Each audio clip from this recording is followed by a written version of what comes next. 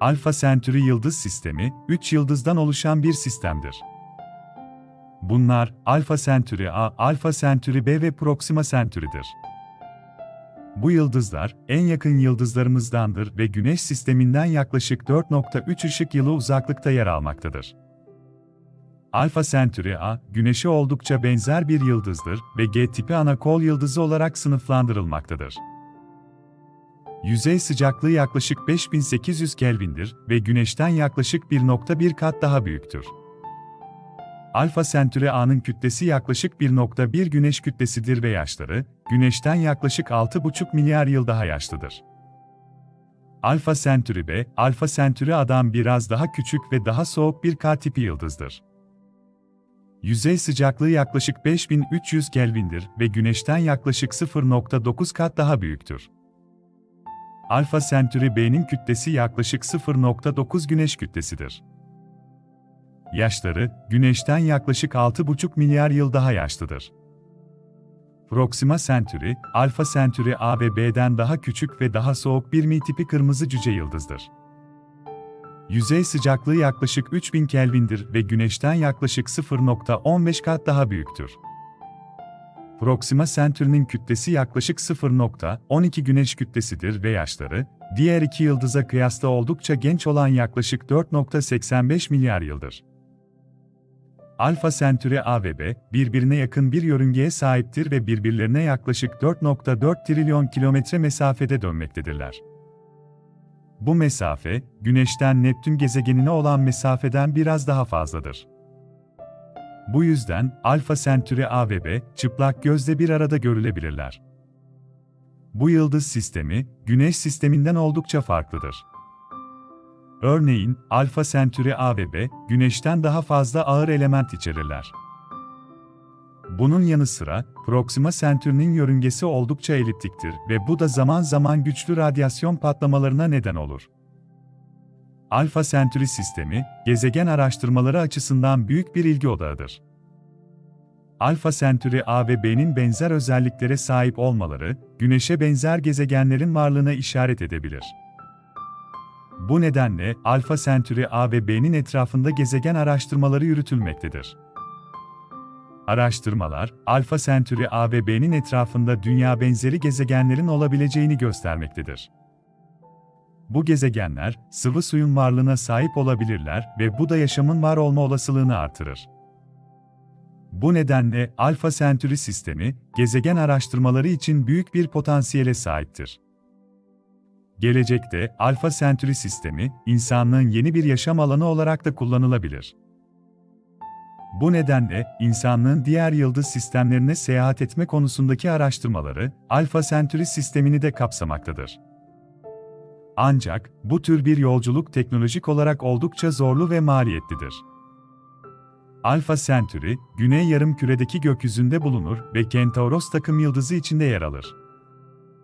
Alfa Centauri A ve B, birbirlerine çok yakın olduklarından, bazen çıplak gözle bile ayrılamazlar. Ancak, yakınlaştıkları zaman ayrıştırılabilirler ve Alfa Centauri A ve B, birçok amatör gökbilimci tarafından gözlemlenebilir. Alfa Centauri, modern astronomide önemli bir yere sahiptir. Bu sistem, yıllar boyunca birçok gözlem ve araştırmaya konu olmuştur. Alfa Centauri hakkında bazı ilginç detayları inceleyelim. Alfa Centauri A ve B, birbirlerine sadece 23 astronomik birim mesafede dönerler. Bu mesafe, Güneş ve Neptün arasındaki mesafeden daha küçüktür.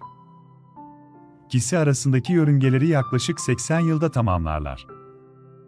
Alfa Centauri A ve B, Güneş'e benzer şekilde hidrojen ve helyumdan oluşan bir çekirdeğe ve etrafında plazma ile kaplı bir yüzeye sahiptir. Ancak, her iki yıldız da Güneş'ten biraz daha büyük ve daha sıcaktır. Proxima Centauri, Güneş'ten 4.24 ışık yılı uzaklıktadır. Bu mesafe, Güneş sisteminin dışında ve Ay'ın yörüngesi ile karşılaştırıldığında oldukça uzaktır. Proxima Centauri, Güneş sisteminde bilinen en yakın yıldızdır. Bu nedenle araştırmacılar, bu yıldızda yaşam olup olmadığını araştırmak için burayı hedef almaktadır. Alfa Centauri A ve B'nin çevresindeki gezegenler araştırılmaktadır. Alpha Centauri sistemi, astronominin yanı sıra bilim kurguda ilgi çeken bir konudur.